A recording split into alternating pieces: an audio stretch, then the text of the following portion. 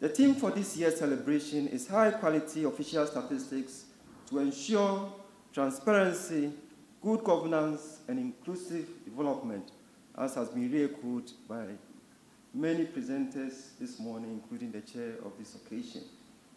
It highlights the importance or the value of official statistics in addressing transparency, good governance, and inclusive development. The team also aligns with the African Union 2018 Summit team, winning the fight against corruption, a sustainable path for Africa's transformation. And this was agreed by the African Statistical Coordination Committee. Both teams underscore the view that statistics form part of every facet of modern life and the basis of many governmental policies, business, community, and individual decisions.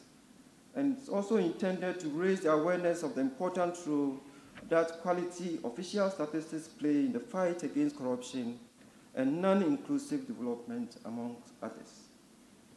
Madam Chair, Ladies and gentlemen, the Ghana Statistical Service intends to mark this day with the launch of the Sustainable Development Goals data platform and social media campaign. This platform will disseminate SDG data in open, transparent, and reusable format so that users can track Ghana's progress towards the UN global goals and targets. The data for these for those furthest behind will be published where available to support the commitment to leave no one behind and shine a light on disparities that can limit inclusive development for all.